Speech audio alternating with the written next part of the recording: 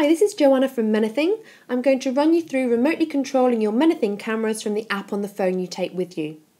First thing to check is that all your Manything devices, both the viewer and the ones you're using as cameras, are running the remote control version of the app. That's version 3.1 or above, and you can check that in the settings menu.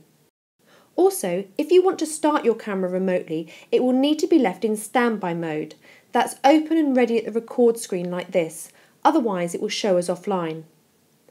You can see all your Manything cameras and their status on the My Cameras page in the app. Offline means it's either not connected or it's not open at the record screen, and you'll need to go back and check this device before you can control it. Standby means the camera is ready at the record screen to be switched on. Live means it's already live streaming and recording. Now, if it says backlog, that means the camera's recovering from a lost connection and is uploading a backlog of stills.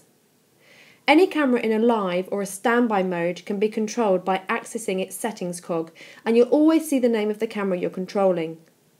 When you switch your camera on, it'll start straight away, but it can take up to 30 seconds for this stream to show on the phone you're viewing on, and we're working hard to make this faster for future versions.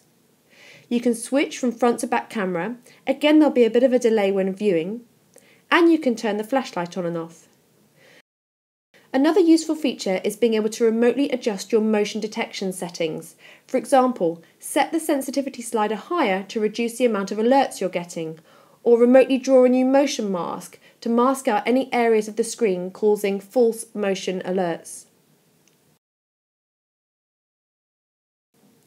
All other settings can also be controlled, such as muting audio or switching to stills mode. If you use the web to view, you can start or stop a stream remotely from the Settings tab on the Manything website, and there's more remote control functionality coming to the web soon. And that's it. Please get in touch with us at support at with any questions or feedback.